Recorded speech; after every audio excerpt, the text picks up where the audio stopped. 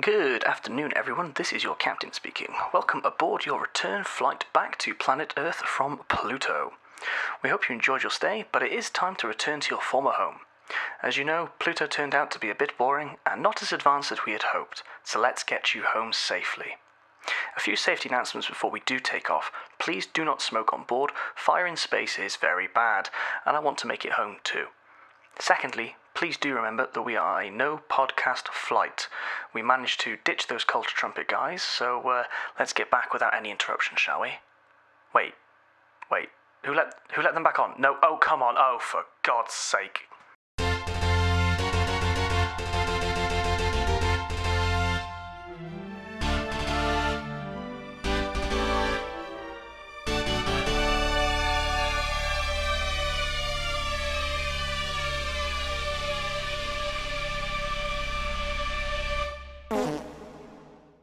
Yes, we managed to sneak back on. Fantastic. If we keep our voices down a bit, no one will hear us, and, and I think we'll be safe. No one will suspect a thing.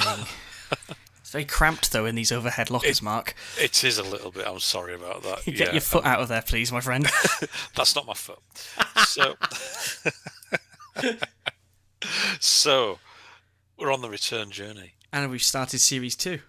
And the beginning of is it series two or season two? Are I we mean, going it British depends or on where we American? are, really, doesn't it? I mean, I- I'll go with season two. That's what I'll call it. But but that's cool.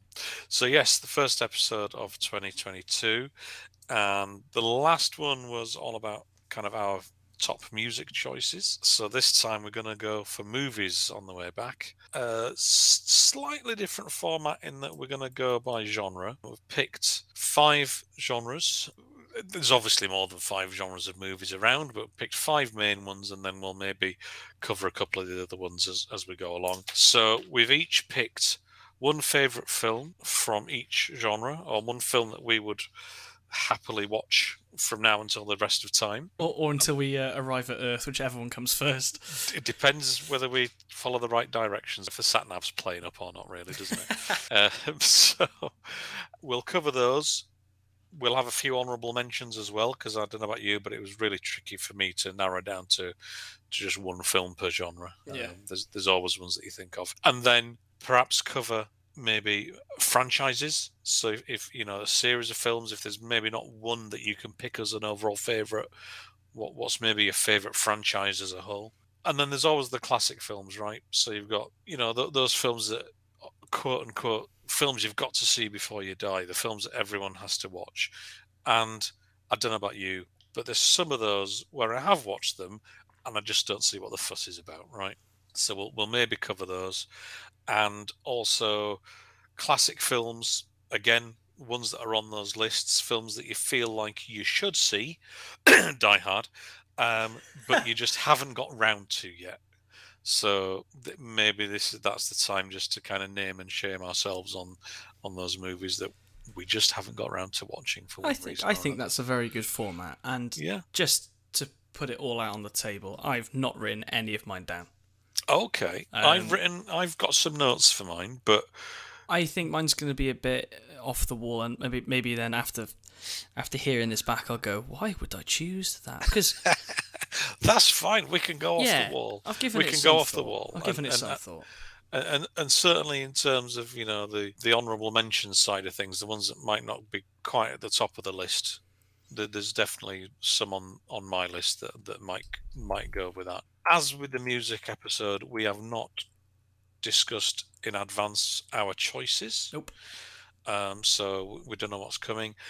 But again, as with the music one, what I'll do is put together a a watch list um, where you can either buy or stream the, the films that we're talking about, depending on whether they're available physically or digitally. Uh, and I'll, I'll stick that in the episode description, and then you can, as you listen to this or afterwards, if there's any that you're interested in, you can grab them yourselves and uh, and take a look. So I think without further ado, shall we shall we soldier on? I think so. So Now, it's probably do a you good to idea. go? For, well, I wanna was go gonna say it's probably good to tell everyone the genres that we've limited. All right. So as I said, I, I kind of tried to get it down to five, and, and even one of those is a bit of a mishmash of three, because there's just so many when you actually think about it. So the first one is, is uh, action stroke thriller stroke drama, right? which you know covers most non fantasy kind of stuff, I guess. Um, but again, there's crossover films there, so there might be something unusual in there. Comedy, obviously, fairly self-explanatory there. Horror uh, could just be out and out horror, could be just creepy shit, could be sci-fi horror, kind of comedy horror, however you want to take it.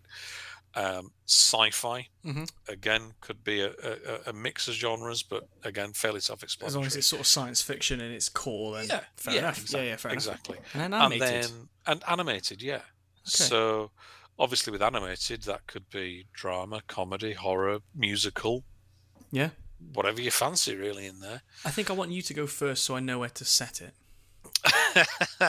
okay. Yeah. Okay. This was a tricky one for me because there's there's a lot. There's there's a lot I could have chosen for this one. I am gonna go with for my kind of main one is the Bourne Supremacy. That's interesting. Okay. Um, I think the first Bourne film, The Bourne Identity, was brilliant in kind of setting up the world of of Bourne and and the the organization Treadstone and and all that kind of thing, right? But I think when Paul Greengrass came in for the second film, it really set the standard, I think, for the rest of the series, which has its ups and downs, obviously, as it goes along. But it really set the standard for the series and for other kind of action thrillers. You know, it, it was obvious that the Bond franchise, you know, kind of kicked up a notch after after the Bourne films came along. Um, so I just think it's a really fast moving, tightly paced, you know, really well shot thriller with some great action sequences. That's fair enough. I think that's a a, strong start. Um, not a film I would have thought you say is you'd quite happily watch forever. But this is this is the thing, isn't it? These could be like really comforting films, and you know some people's comforting films are the Harry Potter films. Yeah, You know, yeah, yeah. um, right? Okay, fair enough. Fair enough. All right, then we'll we'll moving on to mine. This is yeah incredibly hard because you know everything is probably got action sequences in it true. um, from you know, like say, Potter, Lord of the Rings, the Marvel films, uh, the Star Wars movies. It's action, It's a pretty loose definition, to be fair. yeah. but I think for me, and it's it's part of a franchise, but it for me it's the best one of the franchise. A movie that I have seen countless times over the years would be Terminator 2: Judgment Day. Mm-hmm. It's balls to the wall. And if you've not seen it, where the hell have you been for the last 30 years? But it's a proper pioneering movie in the sense for special effects. Mhm. And it it Terminator changed Arnold Schwarzenegger's career into something else other than bodybuilding. Yeah. But you know, the story goes that he signed on to it to be the good guy. I think that was what Cameron originally wanted. Definitely, yeah. Yeah, and they made Schwarzenegger's being a good guy, and it's it's it's a good film. It's I think it's a good film to watch as well if you're younger. It's not hmm. that bad really by today's standards of what's graphic and gnarly, but it's it's got its scenes, but it's just a damn good action film. It is. I did think about a couple of Cameron films myself. Um, I, having rewatched a couple of his films, I, I'm I'm not convinced that they age very well. Would you Uh, say the same about T2? Possibly, yeah. The I don't know. They're they're very much. It's a '90s film. It really feels like a '90s film, if you know what I mean. Yeah, yeah, I know what you mean. Um, don't get me wrong; it's a fantastic film, right? I, I, you know, as as a sequel, it's one of the few sequels that you know are are truly better than the original. and the scale of it, you know, the, that whole kind of highway chase at the end as they're heading towards the steel mill and with the helicopter flying under the bridge and all that kind of stuff. It's spectacular, yes, absolutely, without a doubt. But I don't know if it's one that I would necessarily watch. Over uh, that's, that's, that's, I guess that's where I, I mean, you you could have gone Aliens in that action, and that's a Cameron movie, but that's one I do think has aged really badly. Yeah, I, I have. I haven't. I say yeah. I'm agreeing. I haven't seen it for a very long time, but I, I will make a point to watch it soon. Mm, mm. Um, but I thought also about sneaking Alien into here as an action film, but that, that might come up somewhere else. Um, okay. But for me, T two, it's an outright action film. I remember watching it as a as a young kid, too young to see it, and you know legally, if you like. Yeah. Um, because it's a 15, so I must have seen it when I was maybe like 11, 12. Okay. And yeah, yeah. Yeah, just the action, the sequence of it, sequences in it, just blew me away as a kid. Mm. But yeah. No, no, it's, that's a good. That's a good call.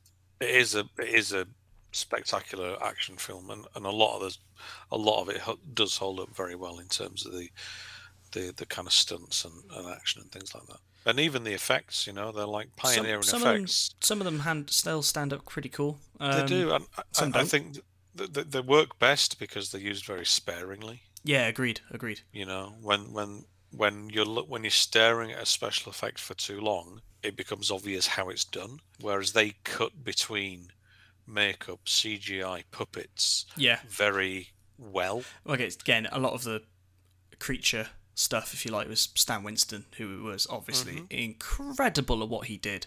Yeah. And well, the whole shop. I'm not just saying Stan Winston, but obviously it was his name to it. Mm-hmm. And yeah, the Stan. If I saw the Stan Winston School was doing stuff for movies, I thought, yeah, this is this is going to go well. Oh, absolutely, yeah, yeah. It's a it's a real stamp of quality um, that they're involved. Right, let's move okay. into comedy then. Comedy, right? Anchorman. Really? Oh God, yeah. I'm going to open the air duct. Bear with. I love that film. Oh. I'm a I'm a fan of Will Ferrell. I'm a fan of Paul Rudd. Um, I just I love how ridiculous it is. Like the whole rivalry between the different news teams and like the gang fight. That's funny, but that's you know, a sequence. That's not a film. But just the whole it's just the whole thing's just ridiculous. There's so many quotable lines in it. And it's just I just I just love it. The second one is not as good, right? It, it, but it's, it's, it has its moments. But the first Anchorman is just go back to your home on Whore Island. Just fantastic. Rubbish. go on then. Your turn. This is another one that could be mixed into very different numbers of genre binding movies. Mm. But I'm probably going to keep mine for for my for my franchise. I think for there. Okay. Annoyingly, I think I'm sticking down the Will Ferrell route, and I, I hate that because I hate Will Ferrell. oh wow! But oh, I can't stand the man. Okay. Okay. Uh, he shouts and screams like a child, and that's apparently entertaining. but I'm going back to you know, it's, for me. This is a film that I wish I could see again without having any former memory of it. You know. Okay. Um, because I remember watching it and it, I just I just found it so stupidly funny. I don't know. You might not agree with me on this, but okay. Step Brothers. Okay. Yeah. I remember watching that for the first time, and it was around the same time as The Hangover, I think. Yeah. And, and The Hangover was a fantastic film, funny, and it was fresh, and a lot of the gags hadn't been done before. Yeah. But Step Brothers, I don't know what it was. It was just bloody hilarious to me. Okay. And I, I find it quite a comforting film, you know, a bit hungover. I'll stick this, it's light-hearted now. Well, that's interesting because it's Will Ferrell. Yeah. And and and it's, it's Adam, Adam McKay, again. Yeah. Who also directed Anchorman. Exactly, and that's but it's not as absurd so what's as wrong Anchorman. With you? Well, what's, what's your problem? Anchorman was just absurd. Yes. I didn't like it. Wasn't it brilliant? No. What and and, and Step Brothers is a is a hard edged documentary look. Well, it's less absurd than Anchorman is. okay, now I'll give you Step Brothers. It, it is a funny film. Again, Will Ferrell and John C. Reilly as well. Who's just he's brilliant. So It's just the fucking Catalina wine mixer. and the, the whole did you teabag my drum set? I mean, ah, it's still so good. But I was having this conversation with somebody recently. I can't remember the last time I watched a a film that was quote unquote comedy. I Mm. like proper belly laughed. Yeah, There's been a um, I don't know if we will cover it, but things like TV shows that we'd be stuck with forever. I watched I watched one recently which was there for me. Like it's probably one of the best things I've ever seen on telly. And but in terms of comedy film, like I watched Don't Look Up recently. Um, loved it. great, loved it. great, great uh, Netflix reception in Pluto. It was really good. Again, Same director, very good. And people who are saying, "Oh, I didn't get it," well, you, have a brain cell, mate. It's pretty obvious what they're doing, and that's the funny thing. Worth a watch, but yeah, for me, comedy, Step Brothers, there for me. okay, all right. No, that's cool. That's cool. Uh, so next one, horror. Ah, this is gonna be a hard one. Well, I'll, I'll go first, right? Uh, Hellraiser. Oh, that's not a happy film. No, but I'll tell you what it is. Is it's the first film that really got me into horror, right? So I grew up in the eighties. Um, the video nasty scare. That's a for a whole other episode. But the video nasty shit was going on, and uh, you know all these horror films were being banned and and and all this kind of thing. But the ones that weren't, you know, Nightmare on Elm Street, the various Friday the Thirteenth films, they just didn't appeal to me. Right? They just looked stupid. um, li- literally, What, that. and, and demonic Cenobites didn't. I'll get to that. So, so, but they look stupid in in the sense of like stupid characters, uh, inventive special effects. That's cool, but then like stupid puns and gags afterwards and all this kind of shit. It just didn't appeal to me at all, right? But the God bless him, our local independent video library. I went in there when I was far too young to be watching these kind of films, and said. Have you got any horror films that are like proper horror films? Like How, how old would you have been at this point? Like, maybe, I, want to go like early teens. Yeah, Yeah. yeah. I would go. Let's have a look. Hellraiser came out in '87, so let's say it was on video '88, '89. So 14, Yeah. Yeah, 13, too, too 14. young to really be. That was a hard 18 as well at the time. Yeah, it was very hard. It still is, really. Um, and I just said, "What have you got that's actually properly a horror film, a scary film? Not even, not even scary film, it's a- but a serious horror film, right?" And he, he basically went, "Try this." so I, I took it, I took it, watched it. Uh, it must have been, it must have been '89, because I took it back the next day and got a Hellraiser 2 out straight away. Ah, right. So you, you could have gone for the sequel straight away. I see. I see. So, so release wise, I think Hellraiser 2 came out in 1988, so it must have been on video in 1989. But either way, those two, but that was like, oh, this is a proper horror film, right? In terms of obviously the gore element, which, you know, is kind of uh, uh, usually a given in for most horror films, but just the fact it was like it was a serious horror film. There were no Pinhead, campy. It, no campiness. yeah. Pinhead didn't appear and start cracking jokes. You know, uh, the kind of horror element looked gooey and uncomfortable and, Yeah. and that kind of thing. Obviously, visually, the design of, of everything was spectacular, like the Cenobites and Frank, the like the skinless Yeah. makeup Yeah. and everything. And it was and it was British, you know. Uh, tried to be American with some really bad dubbing on some characters, but it was clearly a British film. Um, and it was just like, no, this is what this is a proper horror film, you know. And and that's what really actually then got me into horror films because I realised that they weren't all just kind of teen campy Yeah. Te- teens in the woods having sex and getting murdered. Yeah. Yeah. And there's a place for that, right? I've since, you know, rewatched all of those, like Nightmare on Elm Streets and uh, Friday the 13th and stuff like that. Sure. And they are what they are, and there's a place for those films. But Hellraiser was the first one where I went, this is a proper horror film. This is what I mean when I think of a horror film. I like that. I think that's a really solid choice. Mm. Um, for me, uh, growing up, I, I didn't like horror films. Um, Right. Again, I grew up ten years after Mark, so the nineties. Horror for me. Oh, I don't know. Goosebumps was on the telly, you know, and that was that was scary to a kid. And uh, a lot of my friends uh, who I bothered with had older brothers, so Right. I got subjected to some horror films on the sly. Uh, Yeah. Final Destination Two being a memorable one. Oh Uh, yeah, yeah, Lady's head coming off in the lift that stayed with me for a very long time. yep. Um, so much so that my, my mate's brother, who was a year or so older than me, uh, had nightmares from 13 Ghosts. Oh right. And that okay. still comes up today in conversation. That time that my friend showed his younger brother 13 Ghosts and had nightmares for two weeks.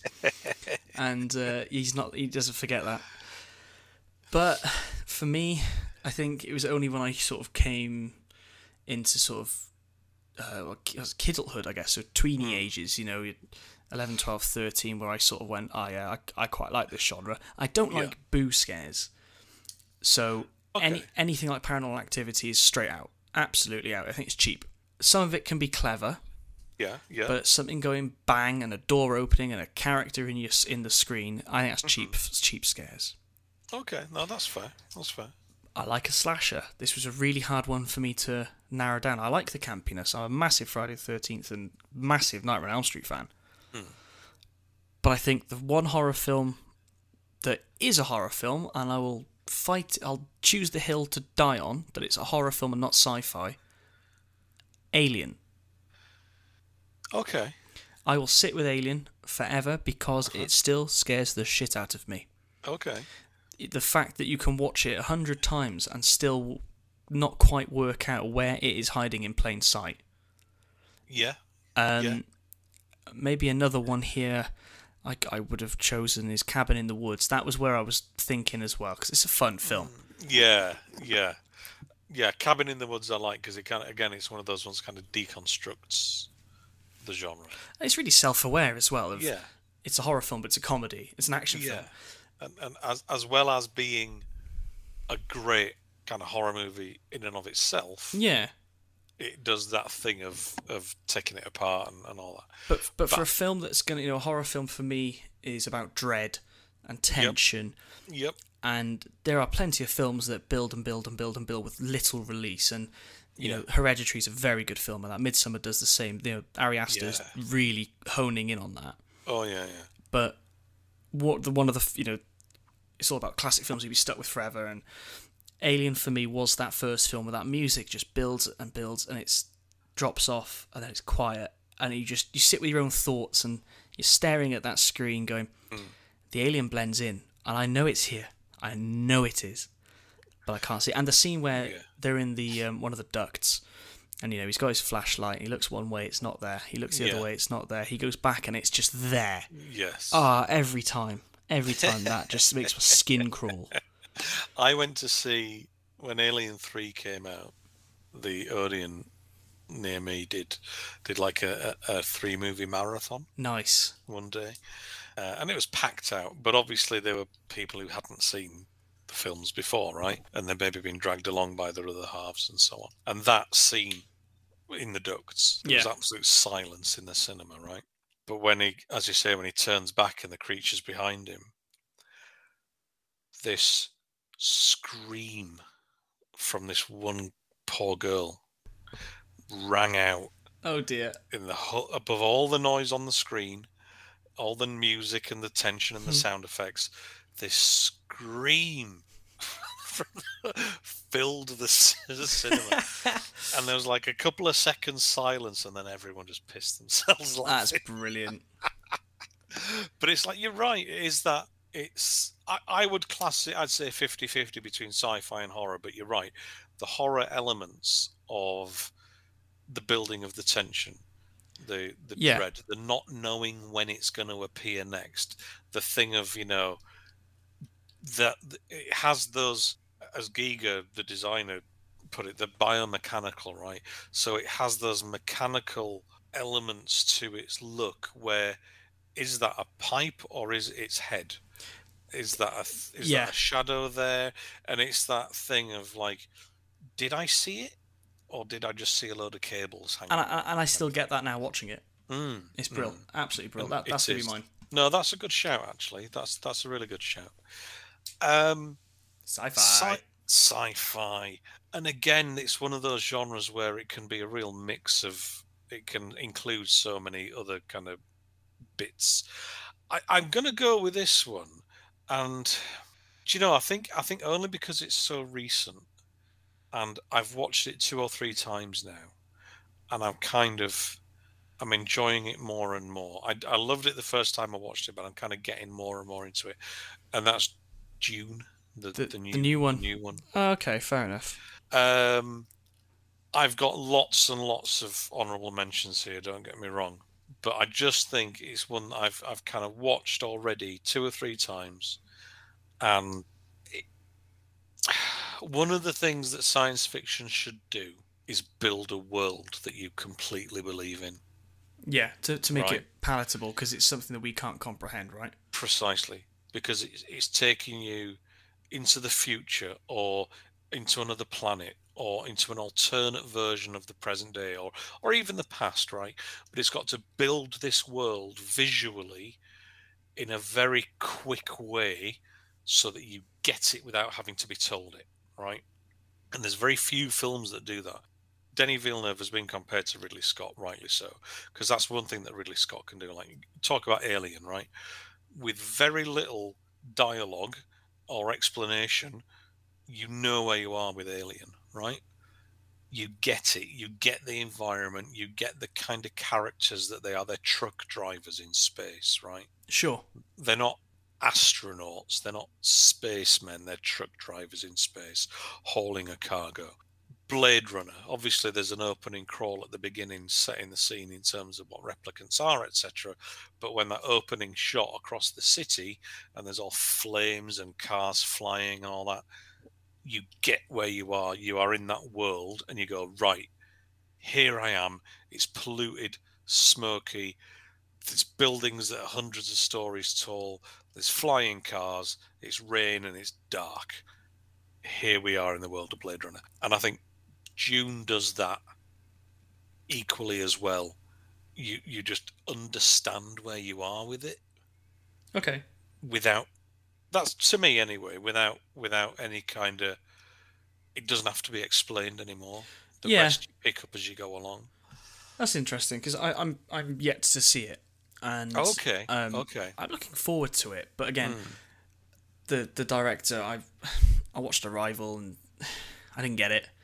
I didn't understand the hype, so I'm going into one of his films a bit apprehensive, you know.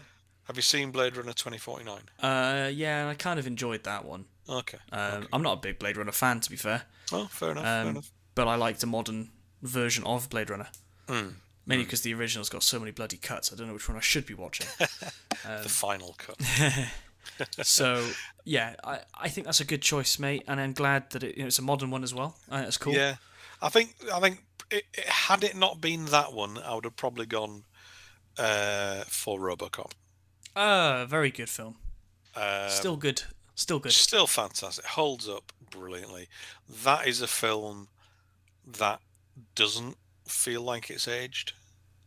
O- un- other than, you know, they've got old style TVs instead of flat screens. Yeah, and the great scene at the end with the flailing arms. It, it's that's part of the charm. That's always luxury. no one saw that in 1987 and thought cutting edge special effects there. Um, but yeah, Fair uh, play, it would have been it would have been RoboCop, but but but Dune just because it's so kind of fresh. Okay, that's fair enough. I like that. Sci-fi, right? Well, there's lots you can choose, as you've just you know sort of explained, but I don't know. I, eh, I, I should have prepared it, but I didn't. And instead of it being an honourable mention, which I was going to leave it for, I think I think I should put it in as as yeah. This is this is the one that I would quite happily be stuck with forever. And Even if I had to watch, choose one film to watch on repeat, you know, Clockwork Orange style. Mm-hmm. Back to the Future. Okay, yeah. It's it's adventure comedy sci-fi, hmm. but you know the be all and end all. It's time travel, and Yeah, how can you get more science fiction than that? absolutely. It's like pure science fiction. And again, being raised in the 90s, it was one of the first sort of movies that I watched that I, I just fell in love with it, and the tape probably wore out. Hmm. But I've bought it so many times over the years. I'm a massive fan of the franchise, and there's just something about it that's. I still, I still, I watch it still, and I feel like a kid. Mm-hmm. And it's one of those things that, one of those films that I would still like to watch again without any memory of, and just fall in love with it all over again. Yeah. I think it's a really good Sunday afternoon sit down film. You don't Yeah. have to really take any attention of it anymore, but you can stick it on and just again fall in love with it. The music's great. I'll go with that. Yeah. the uh, chemistry between Michael and Christopher is just still so good. It's creepy as hell why he's in, he's friends with the Doctor, but that's okay. We get past that because it is explained in the comics. Yes. But yeah, it's just a nice, nice film. Okay. No, I, I get that. I'll. I'll. Probably, we may return to that one a bit later on. Okay, I, I'm looking forward to Uh, that. But, but but yeah. let's move on from that then. That's my sci-fi. Get lost, Okay. Star Wars. Let's not go into that. We don't want to upset too many people because I well, I could have a lot to say about Ah, my favourite sci-fi was the Ghostbusters in 2015. Eh. Um. Okay. Animated. So Ah, this with is a hard one too. It is, isn't it? Because because again, it, it, it can encompass so many different ones, and, and I guess it depends what you're in the mood for, right? Oh sure. Um, I would go with on this one. I think the Nightmare Before Christmas. Ah, Tim Burton. Mm. Well, he was the writer and producer. It was Henry Selick who directed it. But it's Uh, Tim Burton. It is often referred to as Tim Burton's The Nightmare Before Christmas. I just, I just love it. I just love it. I think as, as like, as good as CG is, and I've absolutely nothing against CG animation at all. Right, some of the best, you know, Pixar are, are just phenomenal. You know, track record. But there's nothing like seeing a, a, a film that has literally been handcrafted. You know, where Yeah, I'm a big fan of, of that. Yeah. Mm. Although Um, I did turn off Nightmare Before Christmas about 10, 15 minutes in. Okay. I couldn't get on with it. Okay. I don't. I don't know why. There's just That's something fu- about yeah. it that I couldn't engage with. Hmm. But hey, Whatever turns you on. I, I, I just I like the songs. I, I as I say, I, I I love the kind of handcrafted. Of obviously it's handcrafted, yeah, 'cause it's models and stop motion, and obviously, you know, companies like uh, Aardman and Laika are kind of carrying on that. right, okay, yeah. um, you know, with, with their stop motion movies. But that's like, and obviously it wasn't the first stop motion film, right? You know, but I think if you want to, if someone goes right, show me the stop motion animation film to kind of what's the best example, I think it would be that. That's good. I, I think that's a good a good uh, uh, good point to make because you know I think of Aardman when I think of stop motion. Mm-hmm. Again, British studio uh, Yeah, was yeah. was local to me at one point, Yeah. and but th- it's a different scale, isn't it? Disney and Aardman. Yeah, yeah, yeah. Um, I was what I thought you were going to go down an anime route. To be quite honest with you, I had you down as a Studio Ghibli guy. Oh no. No, I've never seen one either. No, no. I've, I've, I don't want to upset anyone. Oh, what have I done? I know they are, they are beloved by so many people, Cults. by so many people, but I just, I just don't get on with them. I've watched a few, and they are fine, right? Spirited Away, My Neighbor Totoro, a couple of others, and I, I, I, I think that I appreciate them more than I enjoy them. That's fair. You know, Akira, I love Akira. I- You know that as, as an anime, that absolutely, I'd, I'd watch that one. Um, but but Studio Ghibli, particularly, no, not really my thing. That's fair. That's fair. I, I, I applaud your choice there. Not for me. I couldn't get on with it. One day I might finish it. but like, like Pulp Fiction. It took me about four or five attempts to actually get through the damn thing. Okay. But um, Pulp Fiction is probably an honorable mention for action. Pretty good. Mm, It's just too many films to choose from, isn't it? There when you're a fa- that's when you're a fan of films. That's the problem. Yeah. I think the honourable mentions is going to be longer than uh, than the main bit. Go on then. What's your animated film? Well, again, sort of to give it a bit of a prelude, it's yeah, I'm a Disney kid. You know, those Hmm. were the animated movies I watched growing up. Even the classics. You know, some of the classics are still pretty bloody good, and they've been restored, and they just look phen- phenomenal. But Yeah. we all know the reason why they're doing that. That's because Disney don't want to lose the rights to it. Mm-hmm. But Pixar, I always look forward to Pixar, and over the last Yeah. few years, I feel they've dipped quite a bit. Mm. So I think peak Pixar was the early 2000s, and I remember going to the cinema with family and seeing these films, and again the colours just pop in, and they they still look good, right? Mm. So I think one that I, I it's got a few grown up jokes in it, really strong cast, and I still watch it now and chuckle like a kid. It's probably Monsters Inc. Oh yeah. I just think it's such a fun fun film. Mm-hmm. Uh, And again, a nice story. Um, and I'm a big John Goodman fan, and of course, the other man. What's his name? Billy Crystal. Billy Crystal. Thank. I was gonna say Martin Love Short. Billy Crystal so much. Ah, It's just such a, two iconic voices, Yeah, yeah, and it's uh, it's just fun. Just fun. And obviously, Steve Buscemi is the villain. I think it's great. yeah. I think with with with Pixar, you kind you really are spoiled for choice, aren't you? With it? Ah, oh, yeah, 26 films I think now. something like that. Yeah.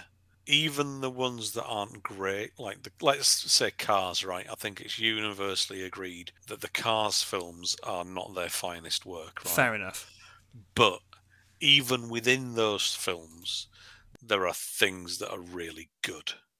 You know, like the the design of, of like the you know the the whole concept of this world Oh, with just, just, cars, sneaking you know. car-shaped things into Yeah. the world. Eh? It's phenomenal. all that. So even in the films that aren't great films, aren't the best films, there's always funny gags. There's visual stuff that is just really inventive. There's always something to like, even in the stuff that's not the best stuff. Oh yeah, I mean, you know, look looking here. So yeah, there's 20, 24 released Pixar films now. So that the lo- most latest was Luca, which I thoroughly enjoyed. I thought the world, mm-hmm. the world building of that was phenomenal. I forgot that it was animated at times, unless there was animated characters on screen. Yeah, But you know, Pixar has a really good way of making grown people cry. yes, And you know, I'm going. I've got the list up here. Um, obviously, the whole thing started with Toy Story, which has aged incredibly well. Oh, and God. Monsters Inc. is number four. But you know, come forward a few years, you've got Ratatouille, and it's not my favourite, but it's fun. yeah, But move to number ten. So this is where are we now? Uh, 2009. Hmm. Up. I would quite happily make a bet with. is that only their tenth one? I know. I would make a bet hell. with any grown adult who didn't cry in that first ten minutes. Yeah, I will say, I bet you didn't cry, and if they did, fair enough. If they didn't, I'd happily give them a pound yeah, because, or a dollar, or a yen, wherever you're listening from. yeah, Because I remember us, we, were- we were on a family holiday, and uh, my dad watched it, and I remember him saying, "I'm going to watch up," and I was like, "Oh, I've not seen it," and you know. Ten minutes after watch, you look over and he's sniffling. I was like, "You're right. Hmm. It's a really sad opening." and this is a bloke in his forties Yeah, who's yeah. you know, hard as nails and watching an animated film blubbing on a plane. But yeah, Pixar have a really good way of making these complex characters and complex stories you give a crap about. Yeah, it's animated and has, has some really good storytelling and really good points to their films. yeah, Some shoved down your throat, don't appreciate it. But uh, you know, again, looking through the list here, one that everyone bangs on about as one of their favourite films is Inside Out. yeah. Oh, I hated it. Oh, oh wow. like as strongly as that is, you know, Bing Bong died. I clapped. you Heartless bastard. Bing Bong, bit fuck off. Get on your trike and fuck off back to Neverland. But I digress. That's too much for this. Uh, yeah, Monsters Inc. Go back to the original point. Yep. calm down, calm down. Monsters Inc. No, that's a good call. And I think, yeah, I think with Pixar, you, you are kind of spoiled for choice. But but Monsters Inc. You're right, one of the early ones, and it was still one of those ones where they were really on a, on a roll. yeah, yeah, Um, absolutely. They had the right cast, great a great look, great design, and a lot of those early films were really kind of pinning down, you know, the technology as well. You know, the sort of like the fur. Oh yeah, the fact that you know, like that, you know. Uh, Sully, John Goodman's character, the the detail of when he moves, and I think more specifically when he goes to the the snowy landscape. Mm. You know, the snow building up on his fur. It's Yes. Yeah, for 2001. And don't forget, you know, Pixar films take a long time to develop. Well, they did back oh, then anyway. Yeah, yeah. And to animate. So yeah, that feat back then, you know, 20 years ago, it, oh, I dread to think the kit that they were using to animate back then. Yeah. Oh, no. No, it must have. I mean, I don't necessarily know that they've got any quicker because the animation's got more detailed. True, so but I don't think it'll take, you know, five or six. I mean, I'm making this up now, but with the way the graphics have come on in terms of rendering, yeah, I doubt it takes a week to render a scene anymore. No, that's probably true. That's probably true. Yeah, but, but I, I uh, see what you mean. I see what you mean. But no, I think it's uh, no. That was a good call. That that was a really good call. So, I, I guess those are our main choices. What are there any honourable mentions you want to kind of fit in across any of those? I, I don't know. I I'm pretty there are a few, you know, a handful of films that I'd quite happily sit with forever, but I'm not a.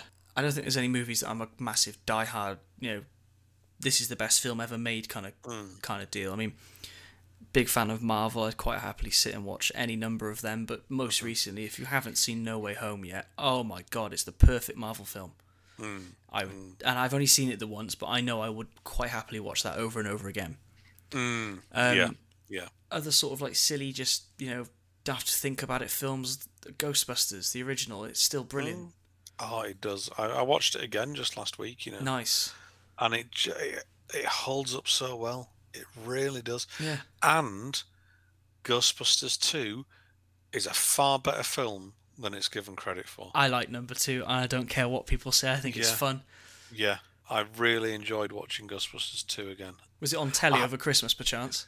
No, no. I just I I, I recently picked up the 4K discs. Oh, okay. Uh, and I just not got around to watching them. Ah. So I just thought I'd, I, I thought I'd put the first one on. Just you know when you do, you I'll just watch it for ten minutes, just see what the transfer's like. You know. And then two of, hours later. Two hours later, that was great. You know. so I watched Ghostbusters two the next day, basically. Um, oh, nice. And and yeah, they both work really well. They hold up, and I haven't seen Afterlife yet. But have you I, not? I, I, thought you had. No, no, I've not got around oh, to seeing I it won't yet. say anything. Um, okay, okay. But it's out on disc soon, so I've got the disc ordered, and I'm looking forward to to kind of seeing that as a. I'm I'm aware of some of the stuff that happens in it. Sure. Um, so I'm looking forward to seeing how that kind of wraps things up, you know. In terms of like other sort of honorable mentions, I, I I'm a Tarantino. I wouldn't call myself a big Tarantino film, but Pulp Fiction. Now I've got through mm. it, I think it's brilliant. Really, really mm. like that. Um, mm-hmm. The Green Mile was always a film that I thoroughly enjoyed, and it mm. still brings a tear to an eye towards the end. Mm-hmm. Um, and Jaws maybe is my other honorable mention. Oh yeah, Jaws is a good one. I I I got a few in terms of drama stuff. I, I think I'd go with Tinker Tailor Soldier Spy. Okay. The the the Gary Oldman one. I I think probably just due to the when I grew up, I have got such a boner for Cold War uh, stuff. That was a, quite a strong um, expression for, yeah. for for like. yeah, yeah. There we go. I'm stick, and I stand by it. Fair enough. I just so, really so love that the Gary Oldman version is the remake, isn't it? Well, it's another adaptation. There was Fair there enough. was a, a TV version, which was I think six or seven episodes with Alec Guinness, which is fantastic, and that Hello was done there. in the, the that was done in the early eighties. Right. Uh, and then this is like another adaptation, and it just, I mean, the the, the TV version kind of covers everything in the book, right? And it does it over, as I say, six or seven hours, and it does it fantastically. And and when I first kind of heard they were doing the film, I thought, how on earth can they fit everything into like a eh, two-hour. Yeah, film. sure. But the, the how they st- kind of restructure it, let's say, to give you everything you need but nothing you don't need. Yeah. Into that is just masterful. I think the screenplay won an Oscar, I believe, uh, or a, a BAFTA, maybe both, but it rightfully you know, was an award-winning screenplay, and the work they did to kind of condense it down was fantastic, and the cast are brilliant, and the the whole the, the production design and the mood and the atmosphere is just fantastic. Okay, it's good. A um, couple of Tarantino films in there: Reservoir Dogs and Hateful Eight. oh, okay, fair enough. Um, both love those. What about any more comedies? Any more comedies you'd go with? Oh, I don't know. Um, I guess there's. I, I don't think there's been very many good comedy films made in the last years. To be fair, um, you could throw Ghostbusters in there as a comedy film. Yeah. yeah. Um, oh God, I don't know. I, I, you know, I think you might be right though. You know, I, I think if you're looking at the best comedies, I, I think some of the best comedies that came along were, were in the 80s and 90s. Uh, yeah, probably. You know, stuff like Airplane. Well, airplane. Was, yeah, planes, trains, automobiles. That sort of yeah, the Lampoon Na- films. yeah. Naked Gun, Ferris Bueller. Yeah, You know, um, I think there's been better comedy television recently.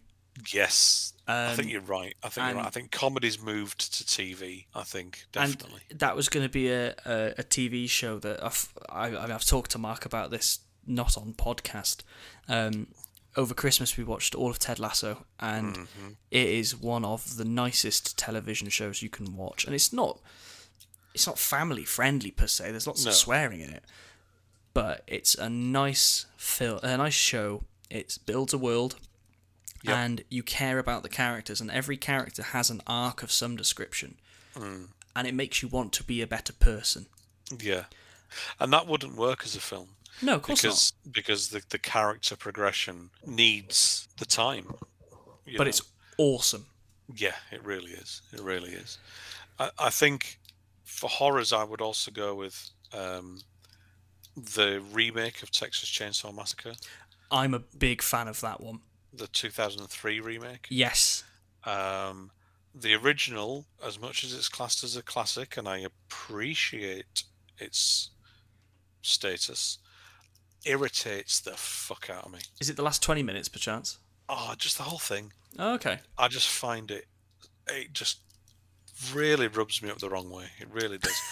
but, but and, and again, you know, I think this might be something to do with again, kind of when I grew up, this whole video nasty thing. The, the one, the one film where the name was going around the playground was the Texas Chainsaw Massacre, right? Right. And and, and all these kids talking about it, having never actually watched it.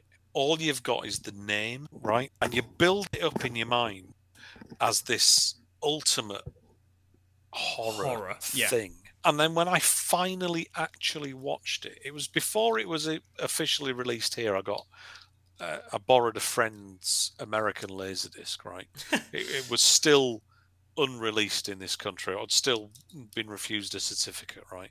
Uh, so I watched it in like the early 90s, and I just literally thought, is that it? Yeah, yeah, I You know, what you mean.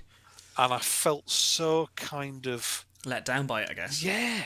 The whereas hype. the whereas the remake, I mean, it's like full on intense from the from the fucking get go. You know, what I mean? like it, and I quite like because they did the Texas Chainsaw Massacre, and then they did Yeah. the Texas Chainsaw Massacre at the beginning, That's right. and I quite like that as well as a prequel. That's not bad. Yeah, Again, it's got its gore. Um, Yeah.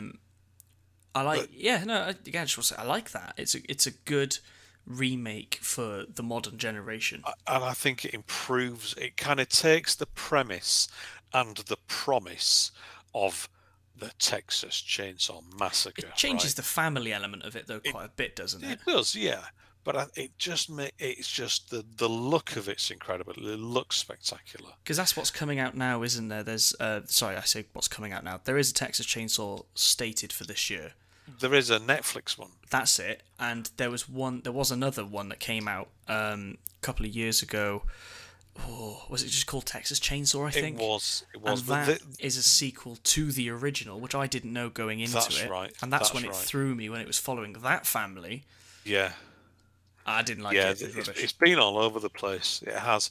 But I think the new one is produced by Fede Alvarez, who did the Evil Dead remake, which is brilliant, and he also did Don't Breathe as well. I know the one. So he's he's he knows what he's doing. Um, So, but yes, yeah, that that that, that Texas Chainsaw remake, I think, is, just spectacular. Uh, and f- I've already mentioned like RoboCop for sci-fi. I think Total Recall as well is a great sci-fi movie. Yeah. Um, and then animation, I would go with not a Pixar one actually, a Big Hero Six. Ah, nice film. So it's Disney rather than Pixar. Yeah, it's good. But I just a great film, funny, again visually really interesting. The the stuff with Baymax, like the slapstick kind of stuff with Baymax, Reach up and through the window. learning how to fist bump and when all he's that. kind drunk, but he's deflated. It's very good. Yeah. It's very good. Just just great, good good fun. My horror, um, Exorcist. Again, Yeah. that was one Oh, yeah. that was when I was growing up was uh, oh scary film, scary film. And you watch it, and yeah, it's got its moments, but I can see why it was banned because the whole religious aspect of it. Hmm. Um, I, I'm not a religious person, so it doesn't offend me, but I get it. Well, well, Oh, because I'm bec- what? what have I done? No, no, no. Because I grew up during this whole thing, one of the things that really has always interested me has been film censorship, right? Right, So I've always had a real deep dive into that area. sure. So with The Exorcist, the quote unquote banning, it was never it was never banned. What happened was it was refused a certificate for home video. Oh, so it was released in theaters limitedly. Yeah, what, And what, what originally happened was Oh, Originally- Jesus, what have we done? just, just briefly, just briefly. Originally, films to be released in the cinema in the UK had to have a certificate from the BBFC, right? On video, they didn't. Right. So, so when the, when the when the VHS and Betamax home video market first took off, companies were releasing films. They didn't have to be certified, and so they would release in like, as you can you can imagine the kind of movies they were releasing, right? They'd pick up cheap Euro horror trash, whatever, and flood the market as alongside studio movies like The Exorcist and, and other stuff, right? The Video Recordings Act came in in 1984 that required all home video releases to also be certified by the BBFC. So any films that had been released before then had to be submitted to the BBFC for certification. They would either be released fine, no problem. The films would be cut if needed to get their certificate, or they would be refused a certificate. Now, The Exorcist is an interesting one because it was refused a certificate for for home viewing, but the, but the head of the BBFC at the time, James Ferman, he was a bit of a knobhead, and he'd come out with this shit. And one of the things he came out with about The Exorcist was, it is a film needs to be seen uncut. It should not be cut. It's a fantastic film, and it deserves to be seen uncut. However, it can't be released on video uncut. Right. Right. So he's left in this position where it shouldn't be cut, but if it's going to to get be. released on video, it has to be cut. Yeah. Therefore, refuse a certificate. Right. Right? Stupid. Stupid nannying fucking bullshit. But, Well, but mine's The Exorcist. go. I'm choosing The Exorcist here. Just saying it's never been banned. All right, all right, get, all right. Get off your soapbox. I'll cut that out. I'll cut that out. No, I think everyone should go through the horror that I've just had to go through. I, I muted my computer, to be fair. Just chimed back in when I thought was appropriate. Go for it. Uh, other horrors. I Now, know. on the other hand, Oh, it's history with Mark. yeah, horror's big. Uh, The original Saw, yes. pretty decent, still pretty, Yeah. pretty good. Yeah. Um, I'm a big Final Destination, Final Destination fan. I think they're great. I really do. Yeah, it's it's it's it's uh, ingenuity of how they're gonna kill off some poor bugger. Yeah, I, I think going back to what we were saying earlier on about horror, about serious horror and campy horror, I think they they're the best example of campy horror where they like they go full in. They know how ridiculous and funny they are, and they just go for it. That's why we kept going back to see them, didn't it? It was Yeah, how, how are they going to do it this time? Again with Saw, it's body That's horror, it. it's grim, but it's like, how the hell can he kill people again? Yeah, yeah, But uh, f- probably not the franchise, but Final Destination Two, I'll throw in there as probably the best, and that's the one that I had the had the scare with as a kid. Um, But just the, the barbed wire scene, oh, it's still so good. Oh no, it's the it's So the good. no, it's the motorway scene at the beginning. Surely. Oh, and I bet you anybody who has seen that film still doesn't drive behind, behind a truck of logs. I don't. I don't. I don't. I don't. Absolutely not. no, absolutely. I think that that scene, I think that's a highlight of the series. Yeah. But I think it's it's like it's one of those scenes that just gets into the kind of Oh, cultural subconscious. It, it proper has You messed know? with so many minds and Yeah. imprinted. You don't drive behind them. Well, why? Because I've seen someone's head come off. Yeah. It's really irrational. Have, have you not seen Final Destination? It's Can like- you move into the other lane, please? There's a few things you never do. Stand close to a train at level crossing in case metal decapitates you. You never drive behind a, truck for pulling logs. You never get into an, a sunbed. I'm trying to think from the other the other movies. Oh, well, there's never. the roller coaster one as well. Ah, no, there? that that's fine. Yeah, They're safe. they are. They are. No, that's that's a good choice. though. Final Destination. I'll go with that. Are there any musicals or war movies or kind of anything else that, that would fit? I'm not a fan of war films. My I've members of my family are really into their history, and I, I, I think I've just been bored by it over the years, being told how Mm. Things happen. I did like it in school. Obviously, Saving Private Ryan's a really good historical film. Mm-hmm. Um, Titanic, real life event, really good. Yeah. Yeah. Eh, not really my thing. War. Um, Okay. musicals though, that's my jam. Oh right. Okay. I I quite like a musical. High School um, Musical. No, maybe not that. Not that. I recently watched Tick Tick Boom. Oh right. having okay. knowing having known nothing about Jonathan Larson, Yeah. having never heard Rent before, Right. and I thought it was absolutely amazing. Oh wow. Okay. okay. Really worth a watch. If you're an Andrew Garfield fan, it, it's awesome. Yeah. And the music's pretty good. And if you know anything about musical theatre, there's certain parts in it that you go, oh, I see what they've done there. But also, the cameos are insane.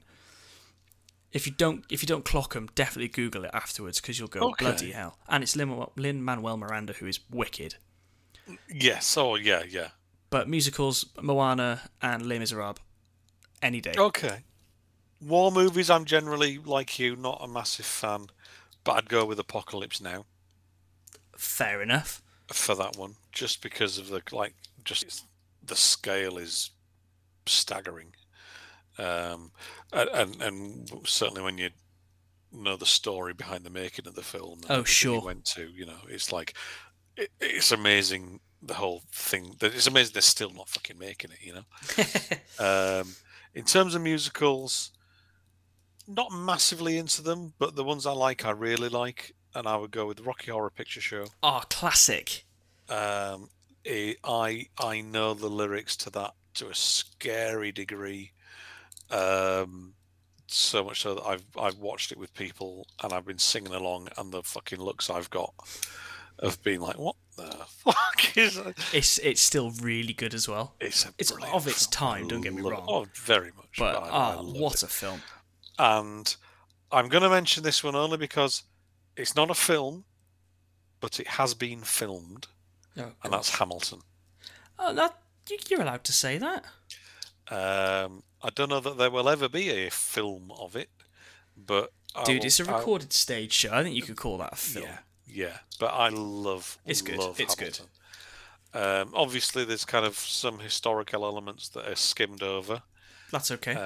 uh, um, which you know it, is, it it gets criticised for, but as a piece of entertainment for for two and a half hours, just brilliant. Would you end end. go and see it on stage after seeing the recorded version of it? That's a good question, you know. Um, I I did kind of obviously. We're kind of limited in our options at the minute, but I, Yeah. I, I did kind of think about that, and I guess once you've seen that recording with the original cast, It's hard to top it. It is, isn't it? And it's like any any anything else is going to suffer by comparison.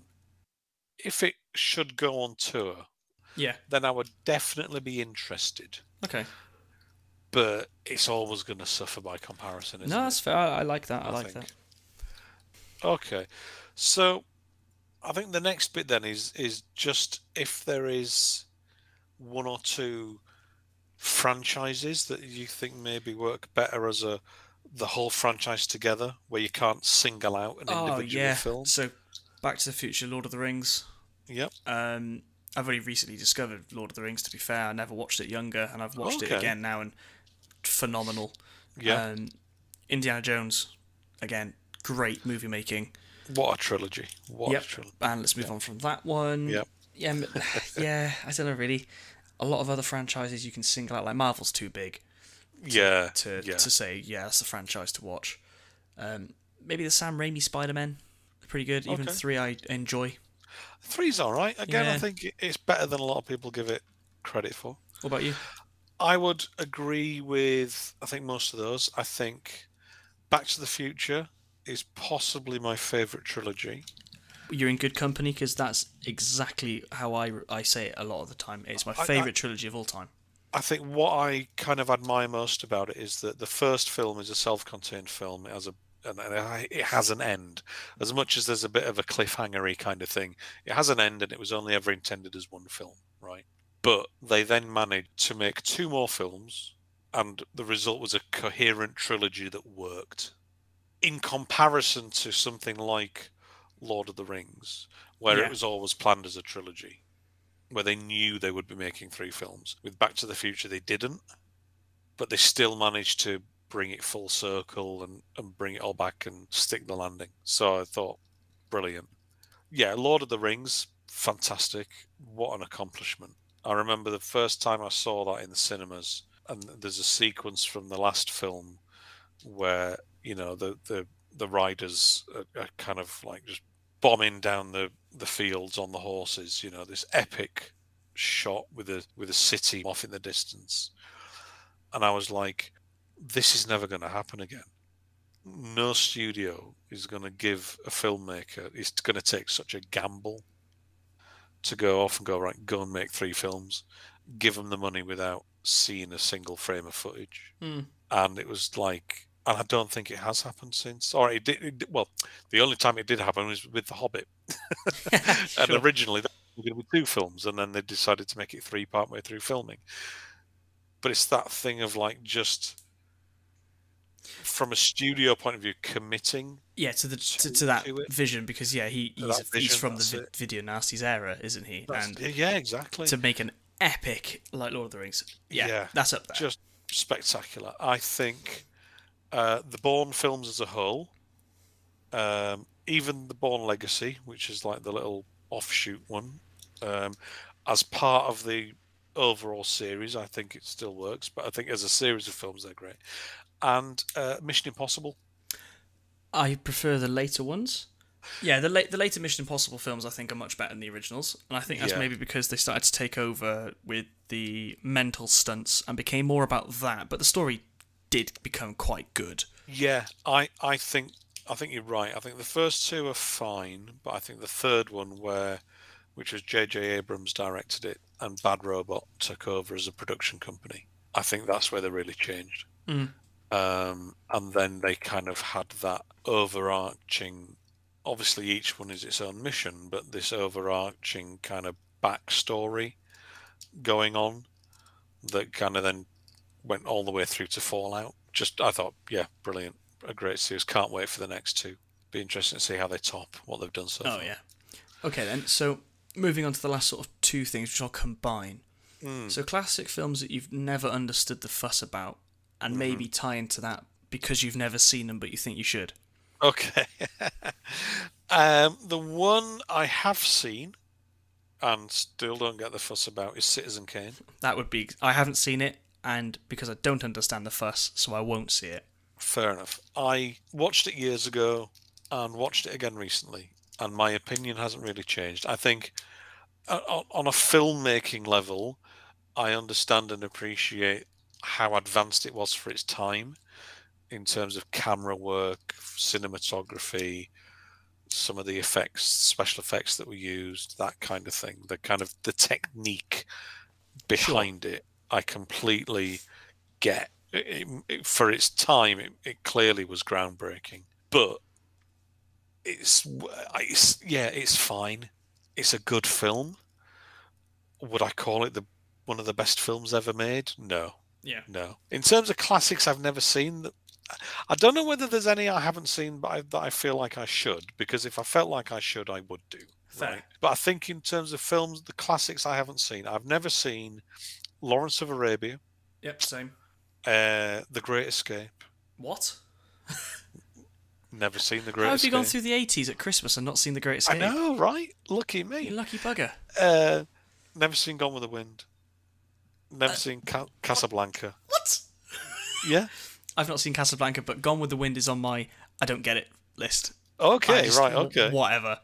And quite frankly, my dear, I don't I don't give a damn. Um, I've been waiting for the whole episode to say that. Hey. Uh, Casablanca, yeah, not seen it, not gonna bother. right. Um, Spartacus, nope, not bothered. okay. Uh, but again, these are the classics that built Hollywood, and yeah, I don't give a shit, mate. Um, I tell you another one, which I, I know a load of people that love it, and to me, I just think it's creepy, and I don't, I don't care. Is uh, Wizard of Oz Okay. Okay. I, I've Again, seen it. but I know groundbreaking exactly for what it mean. was? Yeah, yeah. But yeah. nah, mate, just get in the bin. No, I get that. I get that completely. I think I, you know you, you get these like compilation shows on TV or the kind of the books, you know, or, or websites lists. Yeah. You know, films you have to see, and I look at them and I go, no, I don't really. I don't really. And the the ones on the list that I have seen, I didn't like half of them.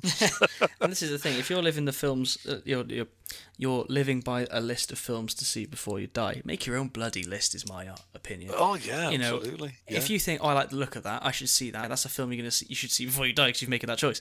exactly. You know, there's exactly. there's books, isn't there? There's an actual published book of a thousand and one films before you should see before you should die, and that's I, it must get revised every ten years or so, right? But I'm sure Well, there you'd a hope thing, so. You'd hope so. Yeah. and it's like, yeah, no. No. I had a poster given to me with a hundred films off, and you scratch off it, and you get like a poster at the end of it. But it wasn't a films you should. It was just films you should see, and you know, it's got things like Shaun of the Dead, Raiders, and stuff like that on it. But it has introduced me to films that I never thought I would see. So Shawshank's, yeah, Shawshank Redemption's on there, which I have seen, but I Yeah. hadn't seen it for years. Um, Schindler's List is on there, and now those are like classic films that I think you should see.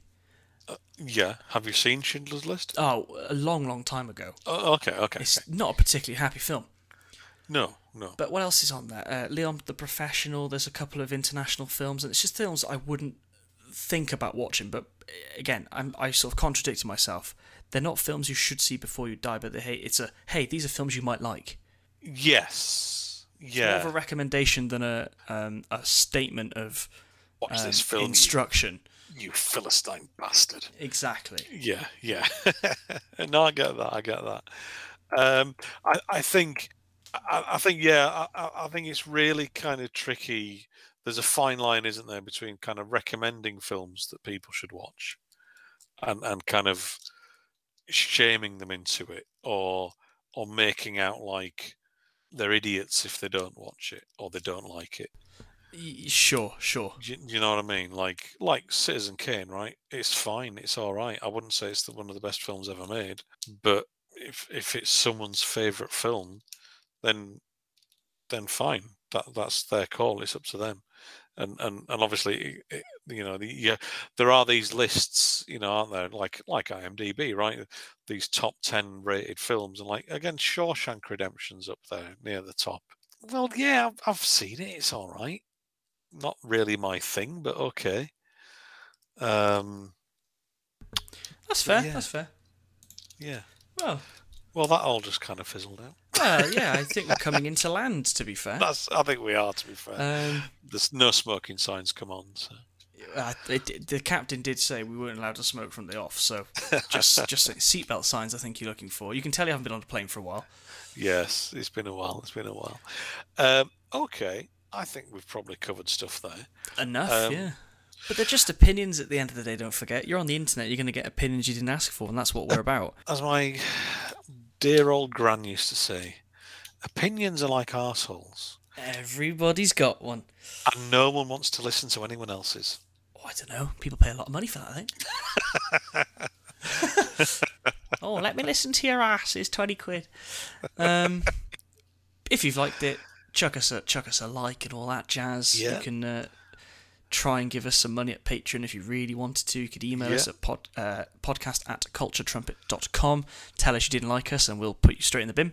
Yep. If if you if you liked it, uh, recommend it to two or three friends. If you didn't like it, recommend it to two or three enemies. Or And, uh, like it, recommend it to two or three friends that will then become your enemies because Yes. you've suggested this podcast. That's that's the risk. That's the risk you take every time. Um, however you're listening to this, there there's a share button somewhere on that screen. Just do so it once. use it. Just do it once. Just do it once, but to lots of people. Yes. And um, we'll be back. Yeah, we'll continue series season two. Now, whether that's a threat or a promise is, is Oh, entirely That's got to be that, up to you. that's got to be now a tagline of the show. It's got to be. we'll be back next week. Threat or a promise? You be Yes. the judge. No firm plans on on what we're going to cover in future episodes, but we'll do a few more of these kind of one-off ones where we we talk about different things in depth. Uh, again, any comments, feedback, suggestions, just let us know. Yeah, yeah. And uh, and there we go. And I think that that's it for now. Yeah, I'm- right, I'm- come I'm on, let's gonna get through go- duty free. Come on. I'm oh, I'm gagging for a brew to be honest. I could go buy a pack of 20, 20 Lambert and Butlers and sell them on the on the expensive. Let's go, let's go.